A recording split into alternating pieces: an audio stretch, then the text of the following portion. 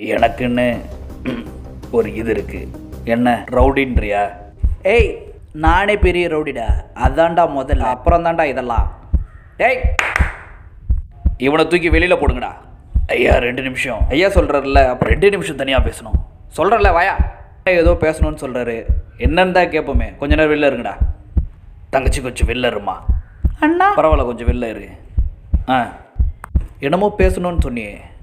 என்ன பேச போகிற ஐயா என் பேர் மாணிக்கம்.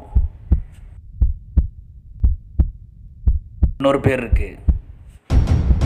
பாஷா.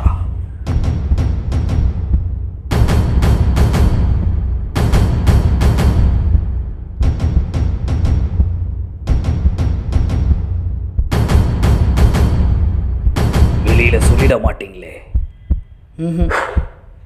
நான் ஒரு தடவை சொன்னா நூறு தடவை சொன்ன மாதிரி.